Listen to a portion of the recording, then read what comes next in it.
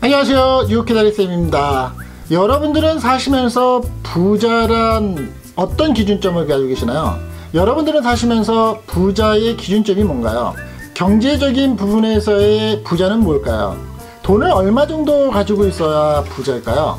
사실 신흥 부자가 된 중국이라든지 원래 산유국으로서 부자가 된 아랍 쪽이라든지 또한 세계 강대국이라고 자칭하는 미국에서의 부자들은 우리가 상상할 수 없을 만큼의 부자들이 많습니다.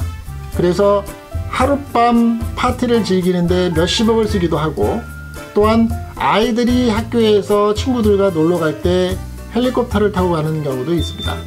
긴 리무진을 타고 가는 것은 굉장히 비일비재한 일이고요.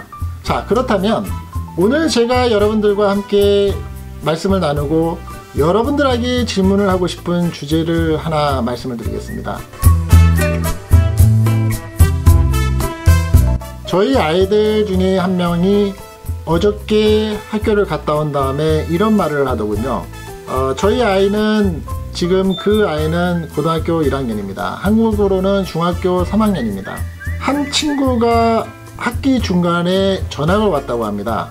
그런데 이 학생이 남자아이인데 돈이 얼마나 많은지 이 친구가 학기 중에 중학교 3학년인 미국에선 고등학교 1학년인 학교를 왔기 때문에 친구를 만들어야 되는 상황입니다. 그래서 이 친구가 자기 주변에 있는 친구들을 돈으로 친구를 삼기 위해서 매일같이 한 하루에 100만 원 이상씩의 돈을 가져오는 겁니다. 그래서 어떤 행동을 하느냐면 친구 한 명한테 너 뭐가 가고 싶니? 난 너하고 친구가 되고 싶은데 너 가고 싶은 게 뭐니? 그러면 이 친구가 그런 제안을 하는 게 뜻밖이니까 너가 왜 그런 질문을 하니? 라고 물으면 이 친구는 나 우리 집에 돈이 너무 많어 그리고 너한테 네가 해달라는 걸 다 해줄 수 있어. 그러니까 네가 갖고 싶은 거 말을 해봐. 이런 식으로 친구들한테 얘기를 하기 시작을 한다고 합니다. 그래서 그 친구의 대상은 여자아이인 경우도 있고 남자아이인 경우도 있고 그리고 이제 이게 소문이 나기 시작을 하는 거죠. 그래서 어떤 아이는 어 나 아이폰이 갖고 싶은데 그냥 툭 던져서 얘기를 했다고 합니다. 그랬더니 그래? 그러면 내가 이따가 저녁에 오후에 학교 끝난 다음에 너가 시간이 되니? 라고 하니까 아니야 엄마가 픽업을 하기로 했으니까 오늘 안 돼. 그래 그러면 내가 내일 아침에 하나 사다 줄게. 그리고 다음날 아침에 정말로 아이폰 최신형을 한 박스를 사다 주더랍 합니다. 그게 소문이 나고 또한 다른 애들한테 얘기를 하다 보니까 어떤 아이는 맥켄토시로 맥북을 갖게 되고 또 어떤 아이는 맥북 하나가 아니라 맥북을 10대를 받기도 했다고 합니다. 한 아이가요. 왜? 어, 나이가 오늘 맥북 받았는데 너무 고마워. 근데 내 친구도 누가 갖고 싶어 하는 애가 있는데 걔도 줬으면 좋겠는데 줄 수 있겠니? 어, 그래 줄게. 내가 또 사줄게.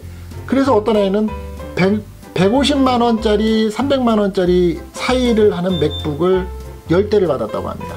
그리고 여자아이들인 경우에는 욕심이 있고 또한 어, 그 소문을 들은 아이들은 일부러 가서 나 너하고 친구를 하고 싶은데 나 너하고 친구해도 되겠니? 그러면 어 좋아 잘 됐어 나도 너하고 친구 친구들하고 많았으면 좋겠는데 그래 오늘 뭐 먹고 싶은 거 있니? 뭐 갖고 싶은 거 있니? 이렇게 묻는 게 당연스럽게 된 거죠.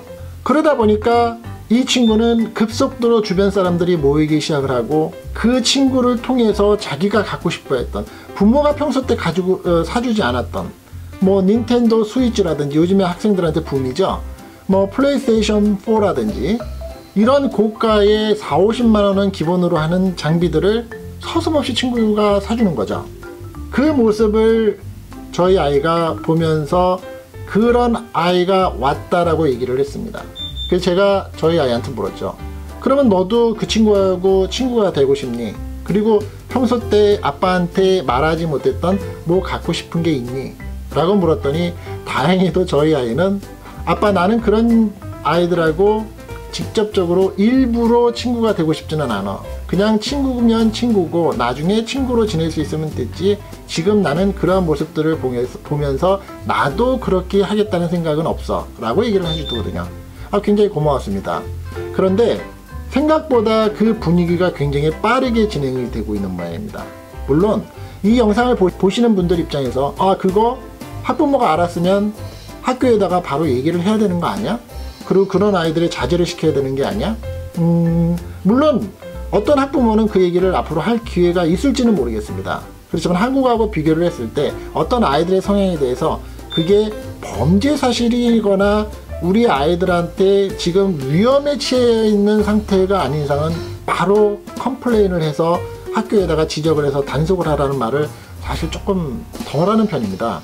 물론 이제 앞으로 알게 되면 학교에서도 어떤 조치는 있을 수 있겠죠. 하지만 조치가 있다 그래서 그 학생이 당장 멈추게, 멈추지는 않을 것 같습니다. 여러분들은 어떻게 생각하십니까? 여러분들이 부모이고 여러분들이 아이들을 학교를 보내는 입장이라면 아이들한테는 한참 자라면서 갖고 싶은 게 굉장히 많죠. 그게 요즘 같은 세상에서는 단 어, one dollar, 뭐 ten dollar짜리가 아니고 몇백 달러에 몇천 달러의 경우도 있으니까요. 하물며 남자아이들인 경우는 게임 컴퓨터 컴퓨터를 일반 컴퓨터로 해서 숙제만 하는 게 아니라 게임 컴퓨터를 원하기 때문에 그렇게 하면 그런 게임 컴퓨터 같은 경우는 150만 원, 200만 원이 되죠. 그러면 그러한 돈으로 만족감을 주기 위해서 아니면 교육적으로 내가 그 원하는 걸 다 사줄 필요가 없다라고 생각하는 입장에서 아이는 분명히 부모가 들어주지 않은 부분을 갖고 싶은 게 있습니다. 그런 아이가 학교에 갔을 때 주변에서 어떤 아이로부터 갖고 싶은 거를 서슴없이 고가의 장비들을 서슴없이 받는 경우 어떤 생각을 가질까요? 그리고 들으시는 영상 속에 여러분들이라면 부모 입장에서 어떠한 교육과 무엇이라고 말씀을 하시겠습니까? 쉽지 않은 문제입니다. 왜? 성인이 된 우리 같은 경우에도 좋은 차를 타고 다니면 부럽고 또한 기회가 된다 그러면 내 차가 아닌데도 타고 싶은 게 사람의 본능입니다.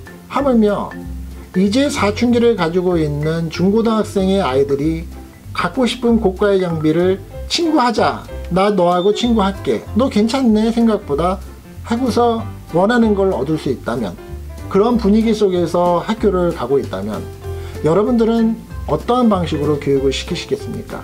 여러분들 입장에서도 쉽지 않을 문제이실 것 같습니다. 말로 생각하고는 단순하게 블럭을 시키고 그런 애하고 놀지 마 그런 애는 이만 이만해 그리고 그런 애들은 학교에서 조치가 내려질 거야 그러다 보면 그런 애들도 자제를 하게 될 거야 그런 애들하고 가까이 하지 마 이렇게만 말씀하시겠습니까?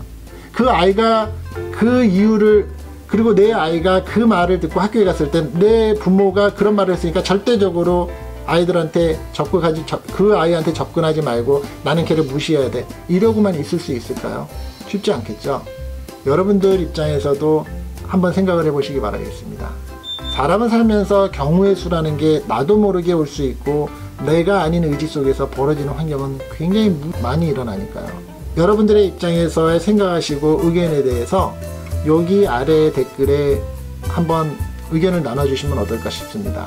그리고 그런 환경 속에서 자라는 우리 아이들이 올바른 사고방식으로 자랄 수 있는 방법이 있고 좋은 아이디어가 있으면 다른 분들한테도 그 의견을 줄 수 있고 나눌 수 있게끔 꼭 의견을 나눠주시기 바라겠습니다. 오늘 영상도 끝까지 시청해주셔서 감사합니다. 뉴욕 키다리쌤이었습니다.